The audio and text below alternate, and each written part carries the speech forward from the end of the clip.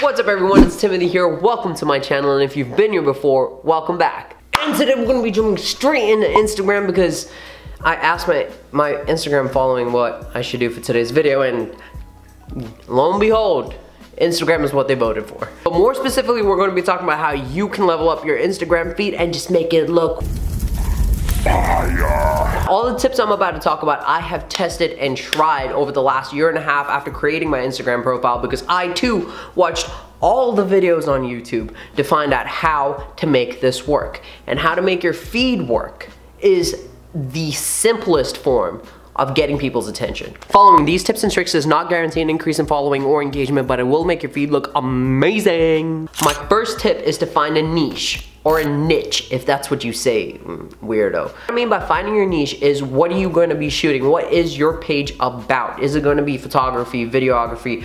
It could be a combination of the two. Is it about food? Are you a fashion influencer, a blogger? Are you a photographer, blogger? You don't have to pick one.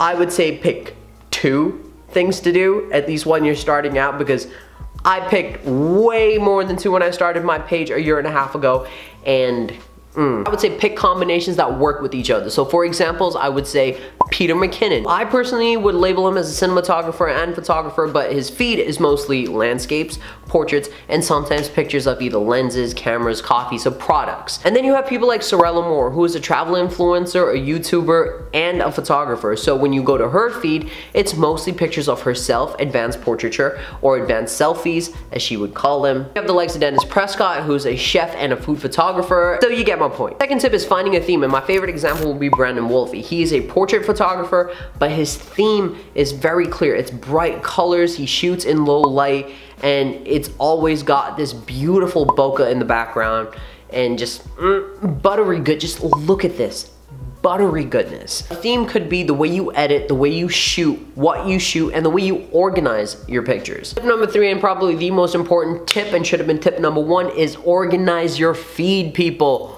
organize it. It is so shocking to me how many people do not organize their feed and it also goes for businesses. You have to organize your feed. The way you need to start looking at your Instagram feed is that it is your online portfolio.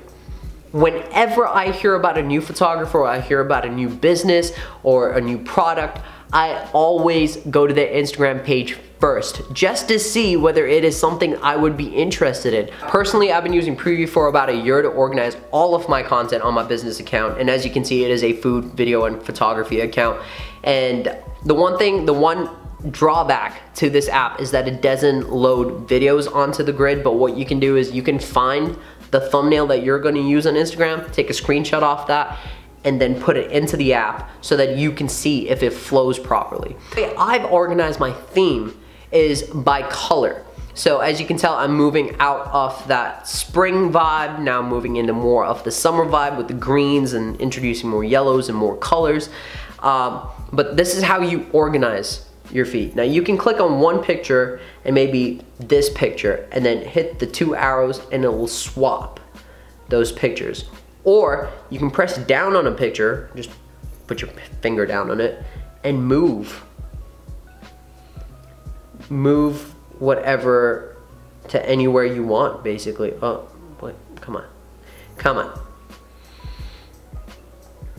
Just making sure that it fits with your previous and following post. My tip number four is to respond to all comments, and I mean all comments, including bots. I started doing this a month ago and immediately started seeing a little increase in my engagement rate. Even if you are responding to a bot, you can say something witty, something smart ass, it doesn't matter. It's, you just have to comment, and the, the logic behind it is, if you're responding to a comment with your comment, you now have two comments. So if five people comment on your post and you respond to all five people, you now have 10 comments on your posts. Tip number five is not to give two shits about your following. It is a lot better to have three, four, 500 followers and have like 100, 130, 150, 200 likes and engagement points on each post than to have 15,000 followers and have 100, 130, 200 likes or engagement posts, points. I don't know, man. This is fake internet points. I don't know. Just to go over all of it, point number one, find your niche. And that is narrowing down all of your big ideas into a few little things that you can actually present to people so when they see your profile, they know what you're about. Tip number two is your visuals or your theme. It's for you to figure out how you shoot, how you edit, so that when your followers are just scrolling through their feed and they see a picture, they know it's exactly you without even having to look at who posted it. Tip number three, and again, it's the most important, organize your feed. This is your online portfolio. Make it look amazing. So again, when people come, they can see a consistency of how good you are. Tip number four, respond to everyone, including bots. Tip number five is focus on engaging your already existing following rather than focusing on growing a following. There is no point having 15,000 people follow you if no one is watching or listening. Anyway, peeps, that is it for me today. If you enjoyed this video, do not forget to hit that subscribe button if you haven't already. Just go ham on that like button and turn on your post notifications for next week's video because I think we're tackling Instagram again. Don't blame me, blame my Instagram following. Also, again, follow the Instagram. You gotta. You just gotta.